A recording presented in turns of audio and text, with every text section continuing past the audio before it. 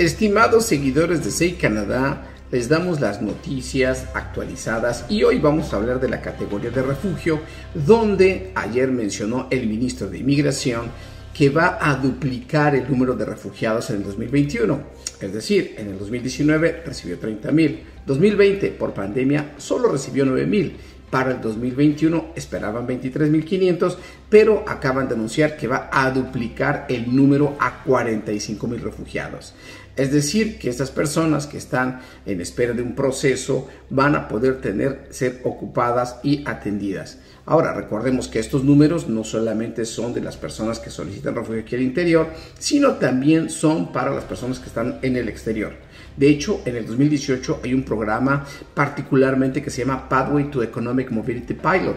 Este programa es para los que están reconocidos refugiados por la ACNUR al exterior de Canadá y que tienen criterios como buenos perfiles para ser residentes permanentes en alguna categoría de Canadá, hoy está anunciando que pues no les va a cobrar costos y que va a acelerar los procedimientos para que puedan llegar más rápidamente, pero solamente habrá 500 cupos para estas personas, particularmente son para eh, Medio Oriente y África, pero posiblemente se alarguen a otros tipos de personas que están reconocidas por la ACNUR. Bien, también este, en este plan anuncia el gobierno la cuestión de la protección global de soluciones regionales para Centroamérica y México, donde Canadá, próximo vez, participará y dirigirá esta, este, este, esta um, protección y este plan en la cual pretende Canadá proteger a mujeres y a niños. También les diré que todo esto que se está informando es en relación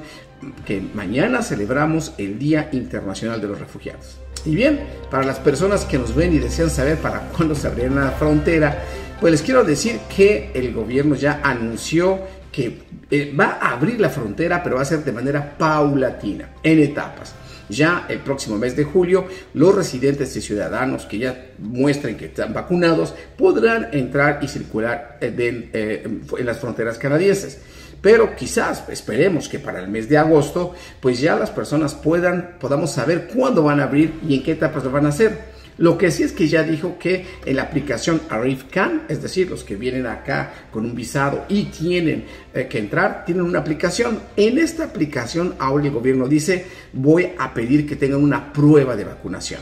Bien, no sabemos todavía los detalles ni cuándo se va a implementar, pero se irá anunciando en las próximas semanas. Esto nos da a entender que quizás próximo mes tengamos buenas noticias para cuándo se va a abrir la frontera canadiense, pero pues las cuestiones del virus eh, que, aún no está del todo controlado, pues nos hacen pensar que es una posibilidad, ya que sabemos que hay un, nueva, un nuevo virus, una nueva mutación que se llama Delta, donde en Canadá también ya ha habido muertes de personas que mismo estando vacunados dos con las dos dosis han decedido. Entonces, bien, pues el gobierno siempre está con la prioridad de proteger a la población canadiense y esperemos que podamos muy pronto decirles cómo van a ser los planes del gobierno, pero esperamos que este verano, antes del otoño, tengamos ya mayor claridad. Pues se despide de usted Jesús Hernández, el consultor reglamentario de Inmigración Canadá, y les decimos que SEI Canadá le informa oportunamente. Hasta luego.